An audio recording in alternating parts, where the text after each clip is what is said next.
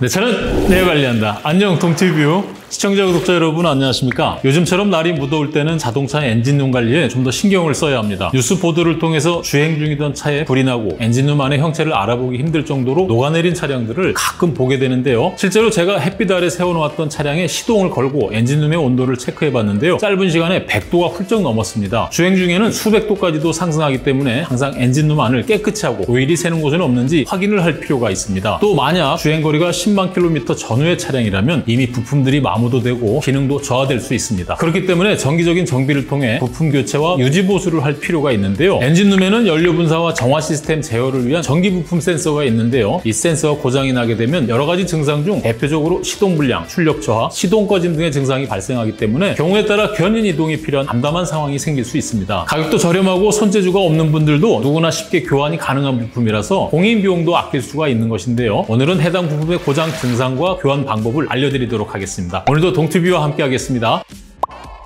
동티뷰 보편적으로 내연기관 자동차는 아는 것처럼 흡입, 압축, 폭발, 배기의 순으로 그 순서를 짧게 알아보면 가장 먼저 피스톤이 내려가면서 흡기 밸브가 열려 혼합기체가 실린더 안으로 들어오게 되고 피스톤이 올라가면서 주입된 혼합기체를 압축하게 되고 이때 불꽃 방전으로 인해 압축된 혼합기체가 연소가 되면서 폭발이 되고 피스톤이 아래로 내려가는 동안 연소가스가 남게 되는데 이때 피스톤이 다시 올라오면서 배기 밸브는 열리고 연소가스가 배출이 되는 거지. 이렇게 폭발의 힘으로 밀어내고 밀려난 각각의 피스톤들이 축을 회전시켜 해서 그 힘이 바퀴에 전달이 되고 자동차가 움직이게 되는 거지. 이때 엔진의 상부에는 두 개의 축이 있는데 이게 camshaft이고 각각의 각도가 다른 캠에 의해서 흡기와 배기 밸브가 열리고 닫히는 것을 조절하게 돼 있는 거야. 흡입, 압축, 폭발, 배기의 정확한 타이밍을 위해서는 camshaft가 정확하고 확실한 회전을 해야 하고 ECU에서는 이렇게 빠르게 회전하는 camshaft의 정확한 위치와 속도를 확인해야 연료 분사 타이밍을 확인할 수가 있는 건데 그래서 실린더 헤드에는 전기 부품이 장착이 됐는데 그게 바로 camshaft 포지션 센서인 거야. 엔진 커버를 벗겨서 보면 여기 보이는 작은 센서가 camshaft 포지션 센서인데 일반적으로 한 개의 센서가 설치되지만 간혹 엔진에 따라서 두 개에서 네 개의 센서가 설치된 차량들도 있어. 만약 이 camshaft 포지션 센서가 고장이 나게 되면 자동차에는 몇 가지 증상이 나타나게 되는데 대표적인 것이 출력 저하와 시동 꺼짐이야. 또 시동이 걸리질 않거나 가속이 되질 않고 연비도 떨어질 수 있어. 그래서 주행거리가 10만 킬로미터 전후의 차량이라면 문제가 발생하기 전에 미리 센서를 교체를 해주는 것이 좋겠지. 이게 바로 camshaft 포지션 센서이고 가격도 저렴해서 부품 대리점에서 12,980원에 구매를 했어. 교체 방법도 너무나 간단해서 누구나 쉽게 할 수가 있는데 시동이 꺼진 상태에서 엔진 커버를 벗겨내고 camshaft 포지션 센서에 연결된 커넥터를 분리하고